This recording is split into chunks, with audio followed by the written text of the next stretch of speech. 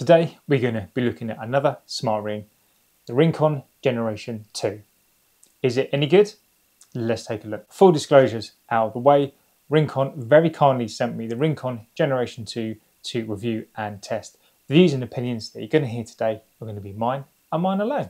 So let's get to the review.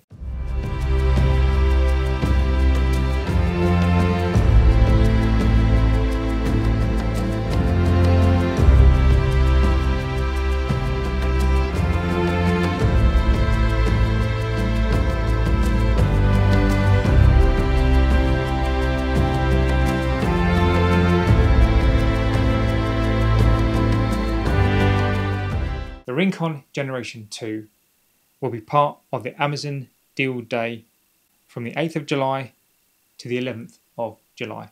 If you're interested in the RingConn 2, you will need to pre-order your ring sizing kit. I will of course put links in the video description so you can check out the RingConn 2 and place your orders. Now let's take a look at some of the features of the RingConn Generation 2.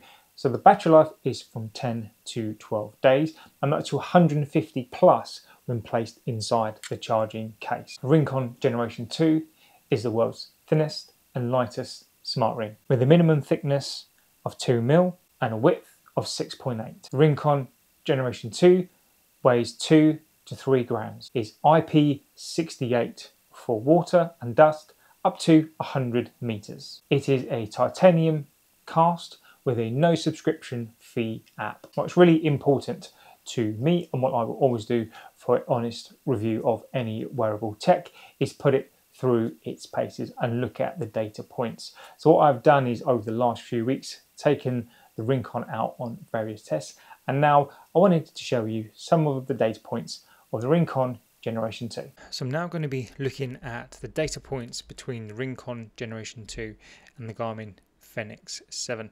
Now on the right hand side what you will see is my VO2 max and my heart rate zones. So why this is important when I look at this, this gives you an indication level of my level of fitness. So for those of you who don't know, your VO2 max is basically your body's ability to use oxygen during a run. So typically the higher the number, the more fit you are. So mine's currently around 63, which would indicate a high level of VO2 max and a high level of fitness. Just below that is my heart rate zones, just to kind of give you another indication of roughly where I am in terms of fitness. And at present, my level of fitness is really good. So the points of data that I think are useful for me to look at and key indicators for me are my sleep score and various points of sleep my activities and underneath is a, another level of activities when I'm just at rest or when I have a normal day. So to start off with looking at the sleep score. So just to give you an overhead view of my basic sleep, so it's going to give you a score, the duration of sleep, your REM, your deep sleep. Now, I think these are subjective points, but I think these are worth looking at.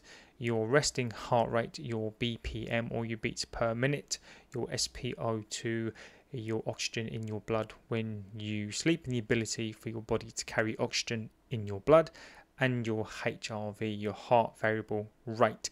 The way your HRV is important. It is a level of indication of your overall heart health.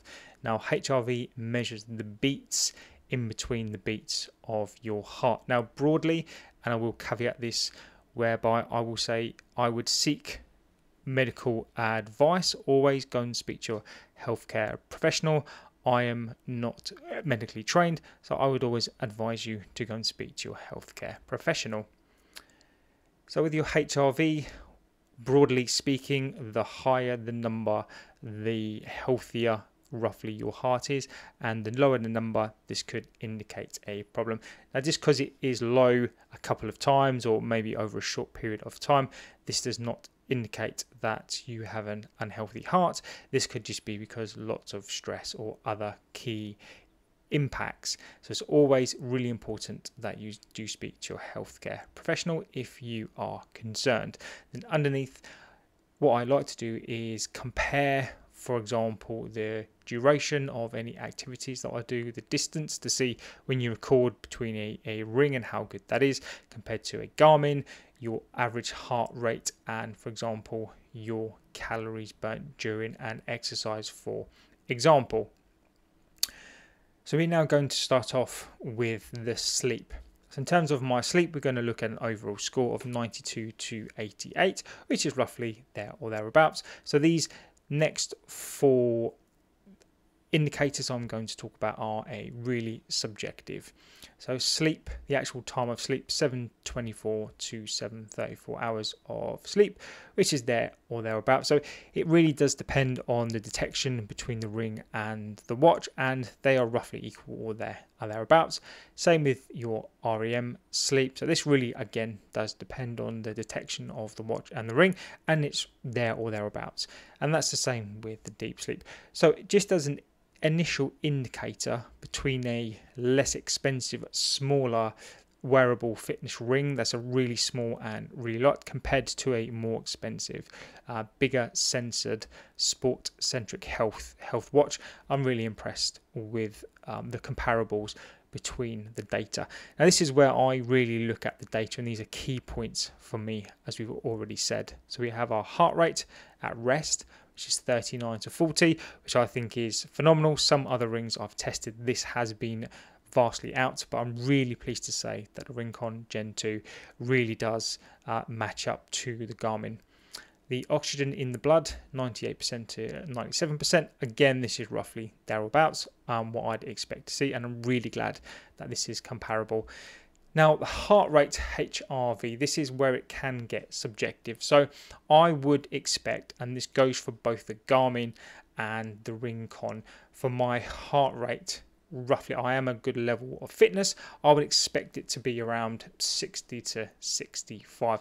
Now the good thing I will already say here is that this is on the upper level of that. So as you can see here, it, this is very subjective and without real real tests, you know, you're you're you're never going to get it accurate as you possibly can. So the fact that this is 90 is is a little bit high and 75 again is verging on a little bit high, but the fact that these are higher above that 60 and not on the low side. Knowing where i am in my fitness i i'm quite happy um, with that there. And as i say it's a very subjective but it's nice to see again that a small fitness device like a ring can match up there or thereabouts with a more expensive garmin fenix 7 watch. We're now going to be looking on a day where i didn't really do a lot. As as as such um, I did walk a, a lot in this stage. You can just see here with the steps. When we are looking at the steps, again, very comparable. One of the things I have tested with other rings is that, again, because of how it captures the data, these can be really, really off. But I'm really pleased that these steps, again, are quite comparable. Looking at the average heart rate, this is, I think this is fantastic again looking at some of the other devices that I've worn or seen this is where the rings start to fall down really is this everyday um, heart rate. So the ability to be able to measure your heart rate average heart rate on any given day I think is quite a subjective and difficult thing to get right. I roughly know my Garmin information. I've been wearing this now for over two years, so I, I'm I'm kind of um, quite pleased with the information that comes out of that. And the RingConn definitely keeps up with that, and I'm really pleased with that. So the calories burnt, these are the kind of um, calories kind of burnt um, activity wise. And looking at the uh, the data here, I, I, during a point in the day, so I've just picked a a point halfway through the day, just here and I'm pleased to say that the calories that were burnt roughly halfway through the day are there or thereabouts. And then looking at the full day, um, including active and inactive on both these days, and the total calories for the day come out to roughly about the same. So this is on the 25th of June. Now, on this day, I did quite a long run, about 19, 19k. So let's take a look at an active day. So on the 25th of June, it's randomly taking a day. Now, I know on this day I did about a 19, nearly 20k run. So again, if we look at sleep scores, the duration of the sleep, on the 25th. As you can see, the sleep there is slightly, slightly out by roughly about an hour. But again, this could be any number of factors. Again, looking at the data that I think is important to me, the resting BPM, the SpO2, the blood oxygen level, and HRV are all there or thereabouts and really accurate. Now, for me, this is fantastic. I really am pleased about how accurate this RingConn Gen 2 for the data that I need, that I think are the most important data points to me of an indication of health are roughly there or thereabouts. Looking at the activity itself, which was a run of 19.8k. So if we look at the distance at the bottom there, now there is a disparity because the ring didn't link up with the Google app and did not record uh, the distance. So as you can see, there is a disparity there. To counteract that and to caveat that, if we look at the actual data recorded during the run, so the actual length of the run between what's recorded on the RingConn here, 125, and the Garmin of 124 is highly accurate indeed. So the heart rate on average, I cannot understate how fantastic this is. So lots of other wearables I've worn, including watches and rings, cannot get anywhere near the Garmin. Now, Garmin for me, again, you can have this as a subjective point, but I roughly know after wearing the watch for two years where I am, and I trust the Garmin. The fact that this RingConn can record and actually for a whole run come really close to the Garmin, I think is fantastic. And it's not a typical thing that a smart ring or smartwatch can do. Again, we have the calories burnt. So I always look roughly about halfway through the day to see where I am on the calories the calories burnt, which are pretty close.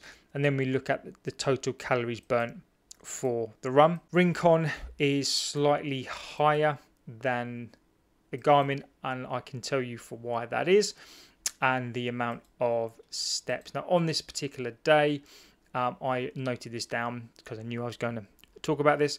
Is I had to come home and charge the watch. So the disparity there between the calories and the steps is simply because I had to take off the watch and give it a charge. But I'm really pleased to say that that would have I estimate that would have roughly been about the the steps and the amount of calories burnt. So let's look at the RingConn app. Now, before we start, I need to say that I'm not medically trained and I advise you to please seek out your medical professional or your doctor for advice before you start looking at the data within RingConn. One of the major features of the RingConn Generation 2 is the ability to monitor sleep apnea. Sleep apnea or obstructive sleep apnea syndrome is a breathing disorder that is associated with other illnesses. And like I've said, I would always consult your medical professional. On the RingConn app, there is a comprehensive assessment for sleep apnea, a monitoring mode, a risk score, and a history.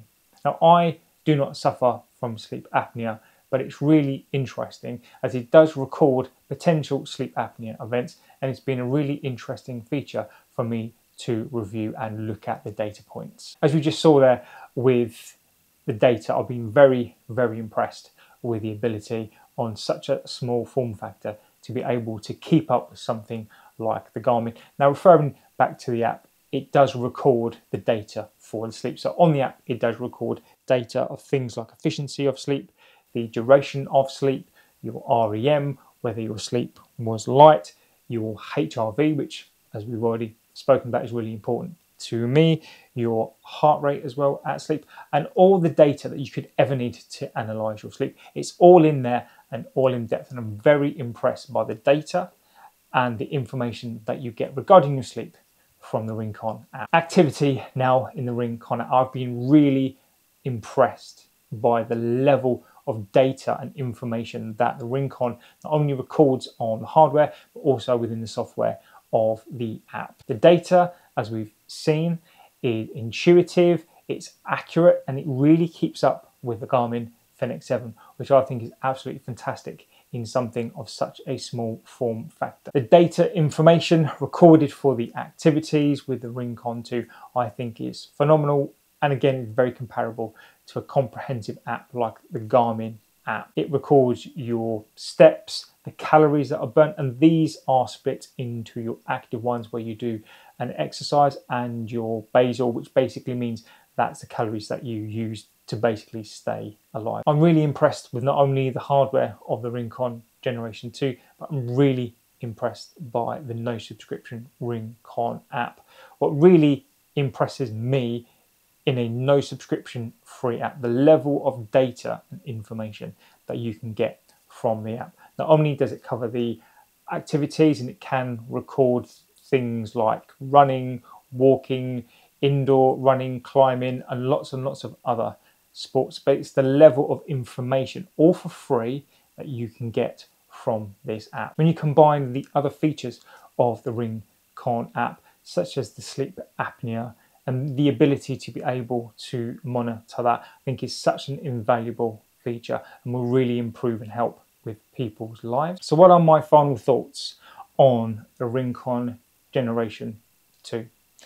It's first to say that in such a small form factor, the functionality that you get out of the ring is absolutely superb.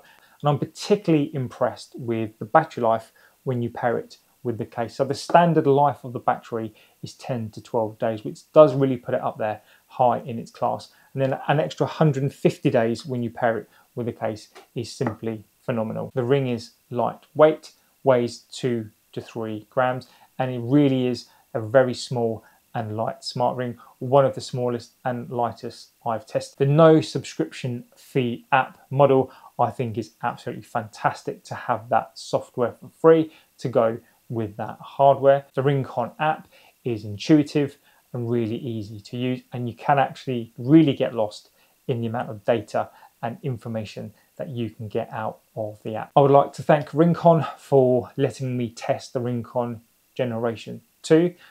Don't forget the RingConn Generation 2 is part of the Amazon Deal Day, which is from the 8th of July to the 11th. Again, I will put the links in the video description for the RingConn and for the deals there as well. So on that note, please don't forget to like, favourite and subscribe. It really does help out the channel. And of course, see you on the next one. Take care.